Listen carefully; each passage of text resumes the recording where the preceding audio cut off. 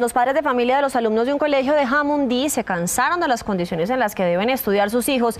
Denuncian que la planta física tiene graves problemas de infraestructura y protagonizaron una protesta. Este es el reporte de Eduardo Manzano. Eduardo.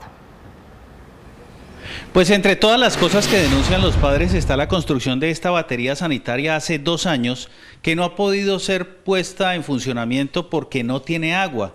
Pero además llama la atención un detalle muy interesante y es que estos lavamanos fueron construidos apenas a 30 centímetros del piso, algo que los papás consideran un elefante blanco.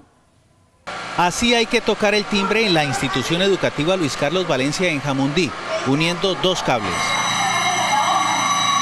Algunas redes eléctricas están en mal estado y las aulas no tienen energía es solo una muestra de la problemática que generó una protesta de los padres. Realmente para nosotros es muy triste que nuestros hijos están estudiando en unos lugares que no les inspiran sino tristeza.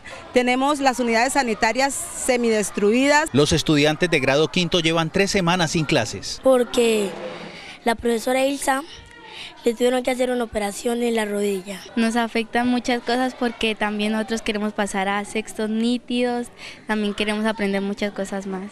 Esta es la sala de sistemas de la institución educativa y como ustedes lo pueden ver no hay un solo computador. En la otra sede hay 30 computadores, pero todos averiados. Los alumnos tampoco tienen dónde hacer educación física. Los estudiantes salen de la institución, se desplazan aproximadamente mil 1.500 metros para encontrar dónde un espacio adecuado para hacer la educación física. El secretario de Educación de Jamundí, César Toro, respondió. Se solucionará aquí al, día de mañana, que era simplemente el, reemplazo de una docente que no se había podido realizar. Los padres de los 280 estudiantes piden que se garantice el derecho de sus hijos a una educación digna.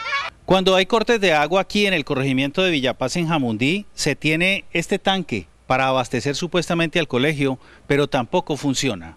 En Jamundí, sur del Valle Eduardo Manzano, Noticias Caracol.